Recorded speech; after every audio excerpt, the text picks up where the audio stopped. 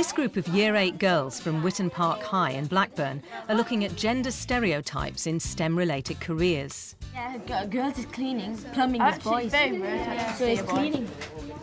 Through the use of team building exercises and an engineering workshop at a local training company, the school is trying to encourage a greater diversity of students to consider STEM careers.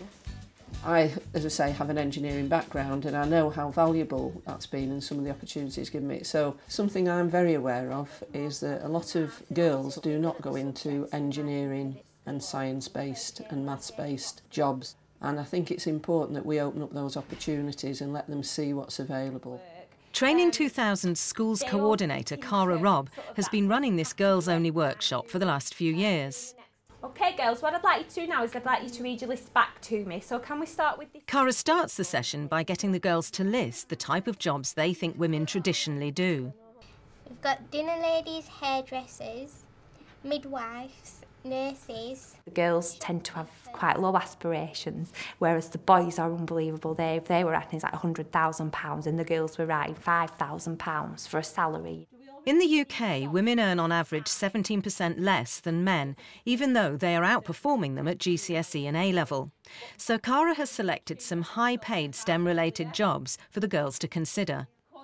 Have we, as females in this room, got the skills or potentially got the skills and qualities that are needed to be able to do some of these jobs?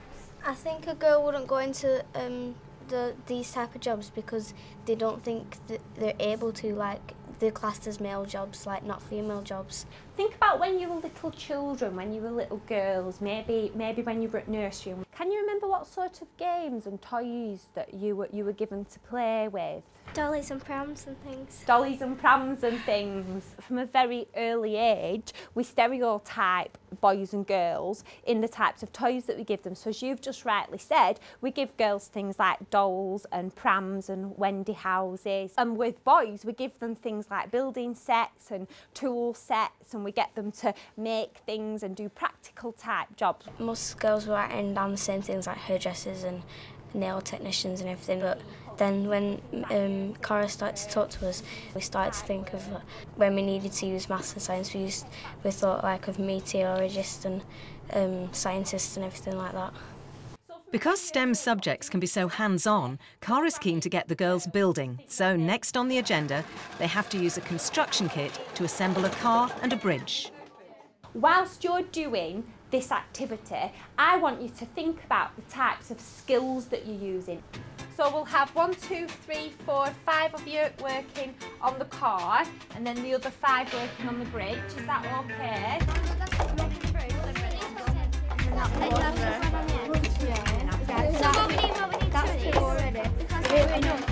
The school is trying to provide STEM programmes that are accessible to all. In this day and age, there shouldn't be any boundaries for any females, uh, let alone any Asian females. I know how difficult it has been for me, but I do want to encourage all the youngsters who I work with to follow their goal. First we're going to make the wheels and then we're going to build it up to the actual, like, what's it called? The frame of the car.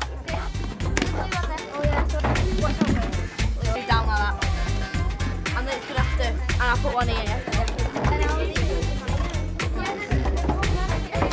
Well, my my dad bought my brother um this kind of car kind of set with electronics in it.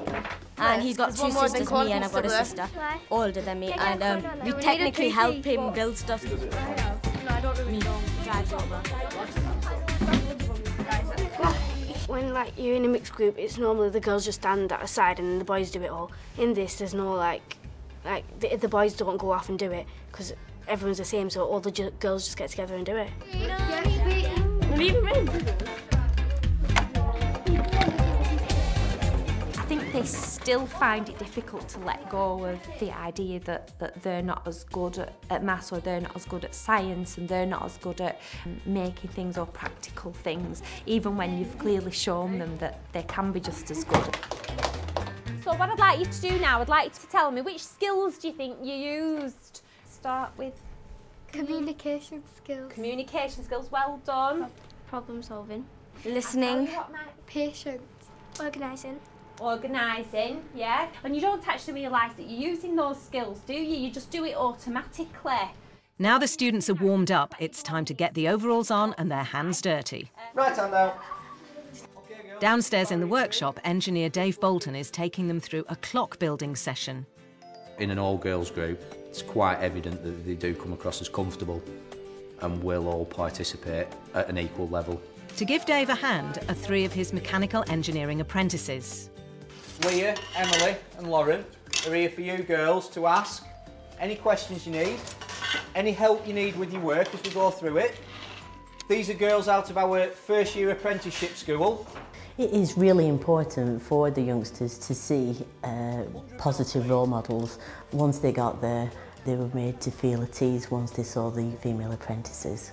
Brought down some more barriers for them. They will be the first girls at that company when they go from here as first year apprentices. Girls, would you like to uh, spread yourselves out and make sure that we mark this out correctly, please?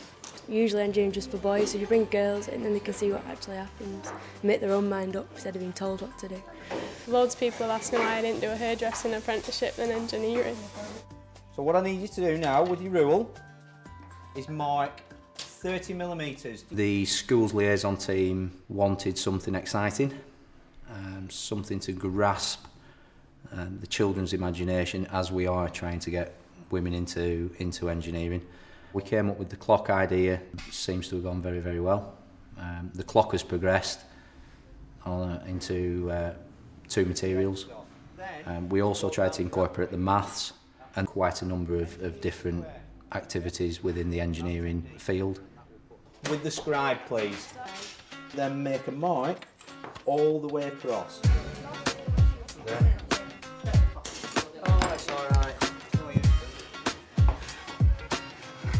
Very, very sharp blade.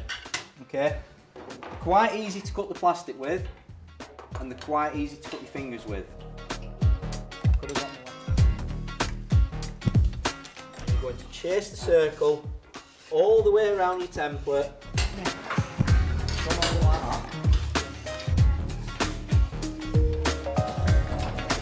Look at the centre of the centre punch. Look at the top of it. You won't hit your fingers then. And it is literally, because it's plastic,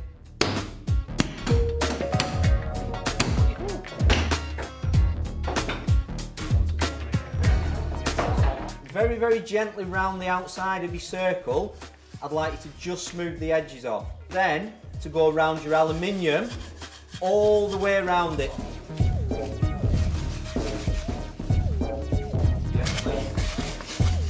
Clock mechanism is place that through from the back of your clock.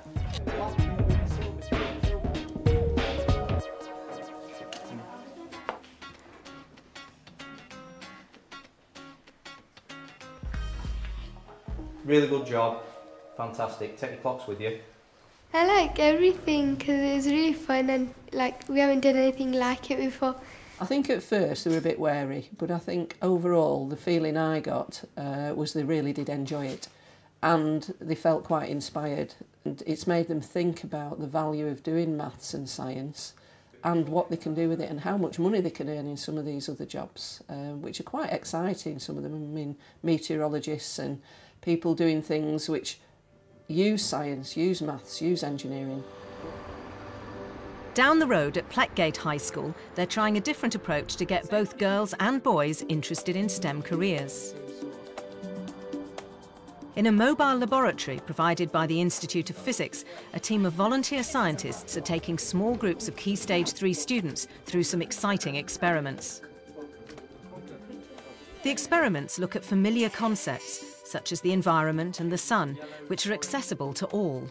The reason that we uh, got Lab in the Lorry into Pleckgate was because we wanted to raise the profile of science and engineering within the school, bring these scientists from outside into the school and hopefully inspire some people who wouldn't otherwise think of science as a career. The school wanted to raise the aspirations of students who wouldn't usually engage with STEM or consider STEM careers. The advantage in the Lab in a Lorry project, we only have six kids for one adult. So you can actually very quickly see what's going on. You can make sure everybody gets involved. So whether it's differences in personality or differences in sex, it doesn't matter. You can make sure everybody has a go at something. That's right. So if you're pushing the goo in and pushing extra air in, what's going to happen? Have a look. Make it high pressure in there. The high pressure is going to have to go somewhere. Two of the experiments on board look at oil extraction and light scattering. These experiments have been designed so they can be used by, particularly by Key Stage 3. So if you get a low ability group on, you can make it relevant to them by using examples that they know of. Um, if it's a group of boys with gel in their hair, you know, talking about the fact that petroleum products are what is keeping their spike up, that can be really useful. And the same with girls if they come in completely covered in makeup.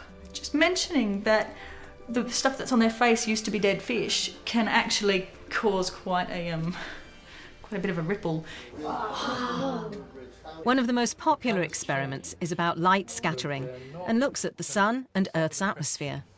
If you stood on the moon, what would the colour of the sun be? What do you think? Red. Red, Green. green, White. white. Well, the answer actually is white. On the Earth, we do sometimes see the sun being red or yellow or orange. What do we have on the Earth that's not on the moon? Atmosphere. That's exactly right. Atmosphere changes the way that we see the colour of the sun. It also gives rise to the fact that we see a blue sky or a red sky at different times of the day. Now to show that, we're going to do a demonstration. To recreate the Earth's atmosphere, they're going to use a tube of water and some disinfectant. Lights off. Right, so would you agree it's going slightly yellow? Adding more disinfectant increases the amount of atmosphere that light has to travel through.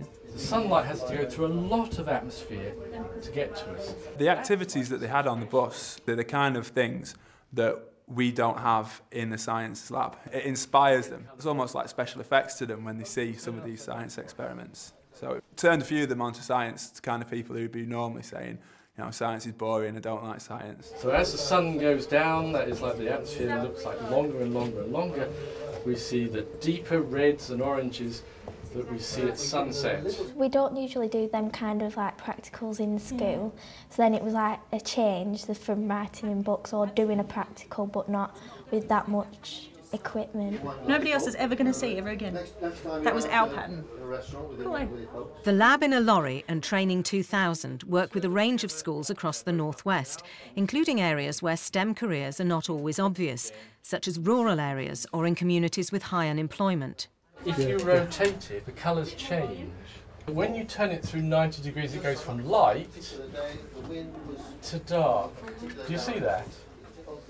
Stereotypically, physics and engineering are things that the boys do. And so I don't think that's helping getting girls into physics and, and engineering and maths. I think slowly it's going to change, but if you go into a physics department at any university, the lecturers that you see are still old men. You know, we haven't got through to there yet. So I think it's a slow thing that's going to happen, but I think you know, we can only be positive about it. If there are more people going in, then there's going to have to be more girls. There's going to have to be more, more of everyone, which is what we're aiming for.